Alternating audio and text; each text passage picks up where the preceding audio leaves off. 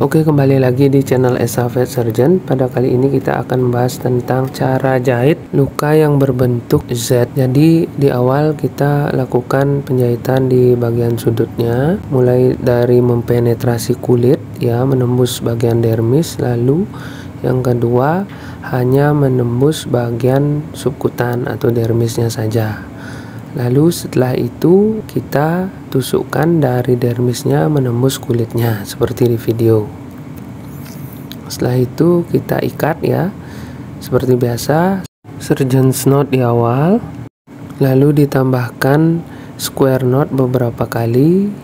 Setelah itu digunting.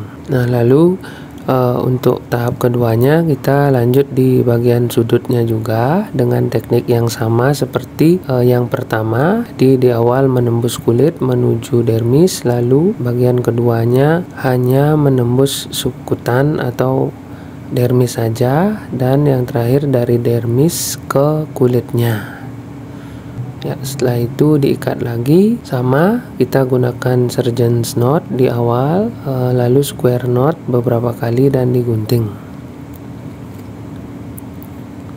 Nah, setelah itu kita bisa melakukan penjahitan di sisi-sisi luka lainnya sampai tertutup dengan rapat. Nah, untuk teknik jahitannya bisa digunakan simple interrupted, bisa menggunakan horizontal matras, vertikal matras ataupun cross matras ya.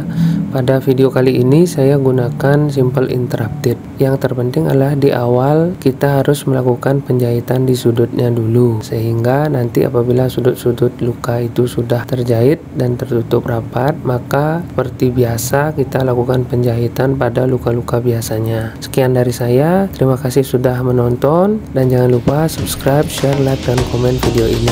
Thanks for watching.